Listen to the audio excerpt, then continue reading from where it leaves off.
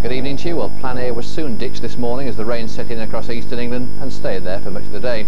In fact, at Folkestone, 36 millimetres of rain fell in just 24 hours. Pretty good prospects for the cricket at Lords tomorrow, though. 20% chance of a shower, perhaps. I think that could be late in the day. It could be all over by that time. The problems are out to the southwest. That deepening area of low pressure is moving in all the time. The winds are going to be fairly light tonight for most of us, but freshening winds in the far west and probably reaching gale force towards the end of the day as that deep area of low pressure moves up towards southwestern parts of Ireland.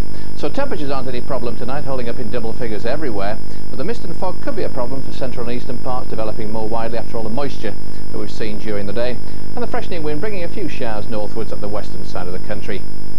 That's how we'll be in the morning then. There'll be some hazy sunshine for much of the day, in fact over some central and eastern parts of the country. Out in the west always more cloudy, further showery bursts of rain to come, and I fancy that during the afternoon there could be some uh, longer spells of rain perhaps moving up the western side of Scotland. The showers getting heavier too, and there could be the odd rumble of thunder, but one or two showers eventually getting to the eastern side, maybe very late in the day.